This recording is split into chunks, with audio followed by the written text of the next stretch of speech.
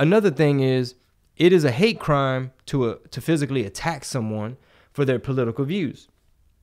Except in 2020 because you see all these Trump people walking around with their flags at these things or ladies with the little hat and you got these crazy dudes I don't know if they're Antifa or BLM or what or just thugs and they going around snatching people's hats you know taking their flag away tasing people you know trying to knock people out uh, just a whole bunch of tolerant Right. violence Right. mostly peaceful gathering Of violence course, of course. so they the ones burning shit. These Antifa, I can't stand Antifa, and I don't know why Biden hasn't denounced Antifa.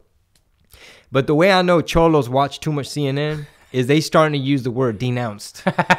they will literally take something I said, twist it up, misinterpret it, and do a whole hour podcast talking about here's the clickbait. Chingo Bling denounces his raza.